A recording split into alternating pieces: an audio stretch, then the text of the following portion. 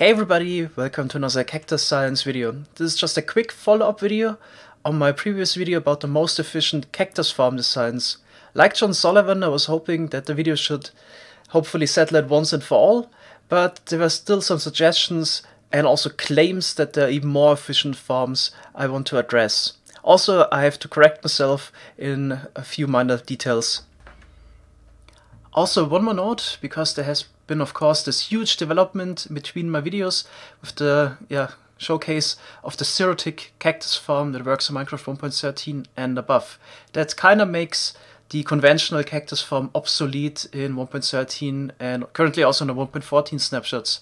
But of course, if you play an older version like Minecraft 1.12 and lower, then you still need to build one of the conventional cactus forms. Also, who knows if maybe in the future Mojang changes something and the Zero-tick cactus form doesn't work anymore because it's probably not intended, then we also yeah, need to go back to those designs at some point. And I've also heard on some of the Spigot servers that the Zero-tick design doesn't work, so you also need to build one of the conventional forms there. So the first thing I want to address is the faction cactus farm. So I got several comments, like the one from Per Ragnar. He says, faction players know even more compact. Winky face. Two Scoops says, faction players know the truth. Or here Matteo Salvini says, this farm, so he means the Cobblewall Endrod farm, is inefficient compared to the Cactus String Sand farm of faction. Now of course, it's really easy to spend 5 seconds claiming something without giving any proof or even giving a source what the faction cactus farm is in the first place. So judging from those comments, it seems like all the faction players all know a big secret and they don't want to tell me what it is. So I went to YouTube search and found several videos of faction players claiming to have built the biggest cactus farm ever. And yeah, uh, check those videos out and they all built the same cactus farm design, which is kind of a modified Zeph Bling design. So here's the cactus farm design the faction players were talking about. Uh, similar to the Bling design, you place a sand block on top of a string, which is next to a cactus, uh, and the sand block is the foundation for the next cactus plant, and also breaks the uh, the growing cactus from the cactus plant one block lower. Um, the difference to the Bling design is that the farm is packed even tighter. But if you think about it, the whole premise of the faction cactus farm is actually not really clever. So they pack twice the amount of cactus plants into the same volume. But if you actually look at it, each of those cactus plants on both sides is surrounded by sand. So that means the items that would fly towards the left or right would uh, bump against the sand block, fall down, and get destroyed by the cactus itself. This is probably even more than 50% of the items because the an item is a quarter block wide.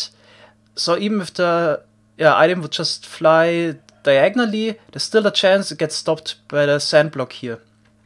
So at least 50% of the items are immediately lost. So what is the point placing twice as many uh, cacti in, in the same volume of blocks if you lose twice as many items as well? So the faction player cactus farm is basically just a worse version of the Zeph Bling cactus farm. The Zeph Bling cactus farm yeah, basically also has the same issues. There's also sand on the side of a lot of cacti, um, but it's not as much as in the faction player farm. So some of the cacti actually only have sand diagonally uh, or only have sand on three sides. So we can also now take a look at the numbers. So here we have the faction farm that I also tested for 10 hours. Uh, we have a farm of a size of 40 by 40 by 160 blocks. In total, uh, 31,200 cactus plants. And we're only getting 21,500 cacti per hour. So that means we only have an efficiency of 28%. 72% of the items are lost with the faction player farm. Can also now look at the compactness rating. It's a 0.088 cacti per hour per block and here would be the build effort 4.36 blocks per cactus per hour. We can directly compare this to the Zeph Bling form, uh, which actually is more compact since we get more items per volume. So it's slightly more compact, we get 0.094 cacti per hour per block, and also the build effort would be even lower. So overall, the faction player, uh, yeah, cactus farm is just not a good idea. So one idea how you could improve the faction player cactus farm is used the same end rod fence trick I showed in the last video. So here we have gap between the rows of the cacti. If we fill this up now with end rods and fences, uh, we could prevent that items that would uh, fall to the side would land on the cactus blocks on the lower le levels. So I did it over here. Fill it up with the end rods, next to the sand block and the cactus, and in between we got the fences. So the loss of items got reduced dramatically. Instead of losing 72% of the items, we only lose 53% of the items. So yeah, 50% of the items are immediately lost because they just fly to one of the sides. Um, but yeah, we can at least improve uh, the efficiency of the items that, that fly towards left or right from this perspective. Alright, but overall the numbers also for this concept aren't that great. If you look at the compactness, it's definitely an improvement, 0.114 cacti per hour per block, but the build effort would be increased dramatically. Uh, 7.55 blocks per cactus per hour. Compared to other designs, this is a really bad number. And there's another comment I want to address, the one from Adam Shadow. He says there's an even more compact design that I use, and that is to place cactus in a chessboard pattern. Therefore, every second block in the cactus layer is a cactus. In your designs, it is only every fourth. By doing that together with the end rods, you get the highest production per space used. Again, no proof given. Also says it would be nice to test less compact designs using butter or observer detection and pistons. Therefore, you get the efficiency of the micro design without entities.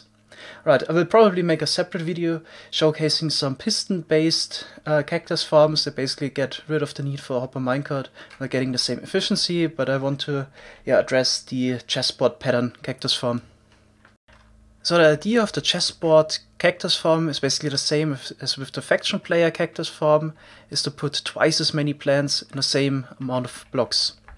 So if we look at this, actually, yeah, looks quite good because none of the cactus has uh, yeah any other sand or whatever directly on the side, but there's a lot of cacti diagonally.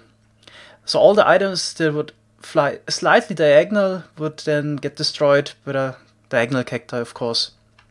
So I also improved the design by putting the end rods and the fences in the middle that at least would stop some items and prevent them from being destroyed from cacti in the lower layers. And I would say let's just take a look at the number so we can ascertain if this is a good design. So in total, let's take a look at the compactness rating immediately. It's about as compact as the Faction Player or Ceph Bling design, 0.09 for cacti power block, and also the build effort is pretty much in the same range as the Ceph Bling or Faction Player design, 4.18 blocks per cactus per hour.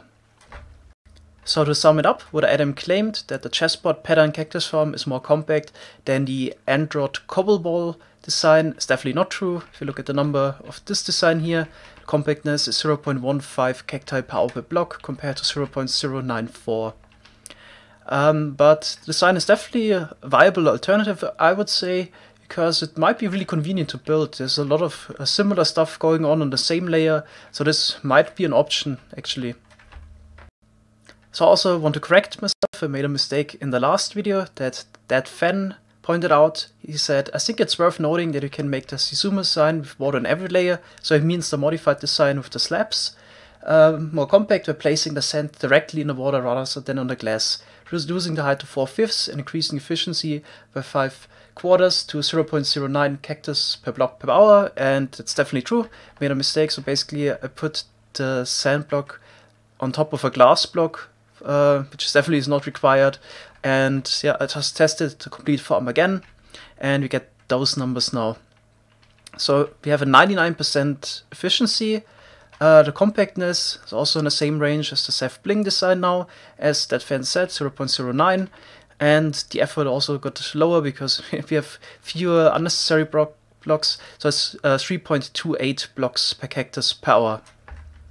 And there has been a last second development. I was actually already finished rendering this video, ready to upload to YouTube. And then I got a message by Forregion on Twitter. He has a really nice improvement for the water collection system every layer design.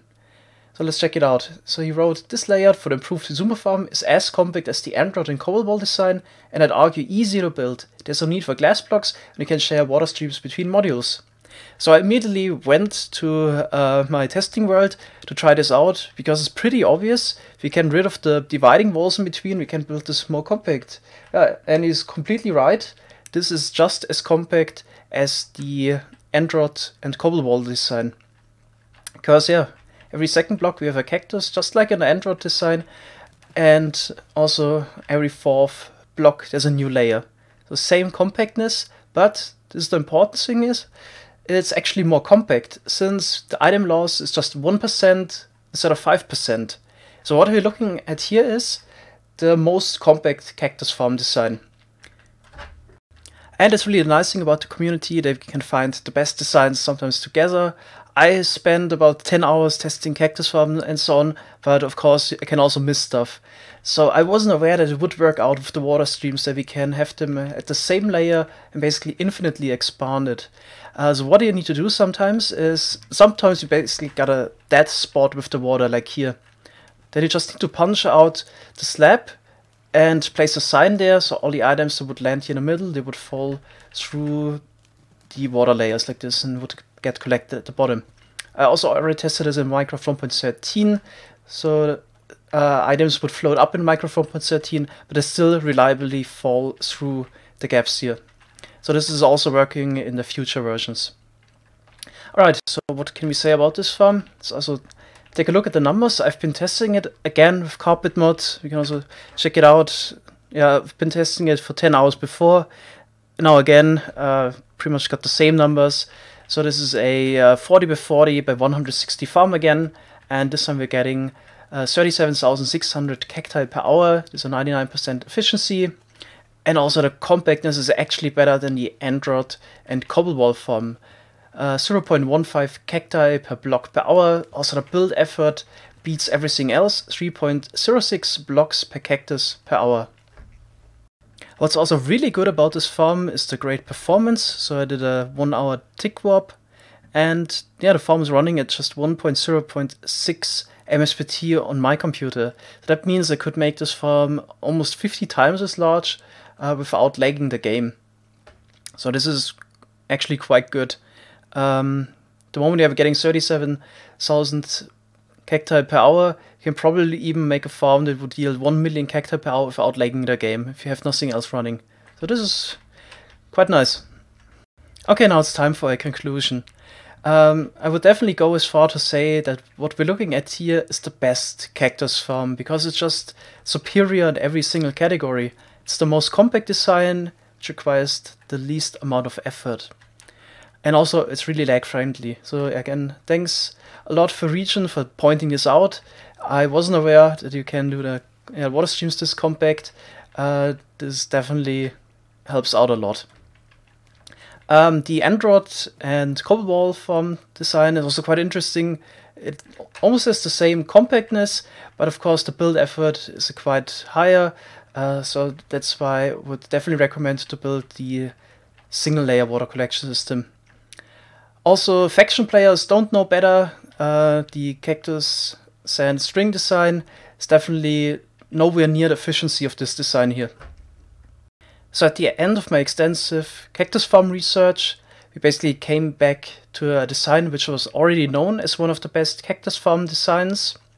But I would say my research was def definitely worth it, because I found out about the importance of using slabs at this layer and that it's um, not really worth it to completely surround the cactus with fences since we already have 99% efficiency. If you would completely surround all the cacti with fences, uh, then this is 60% more effort. Another interesting aspect is that the conventional cactus farm is more lag friendly than the Zero-Tick cactus farm designs we have currently. Might also change, maybe somebody finds an even more lag friendly one.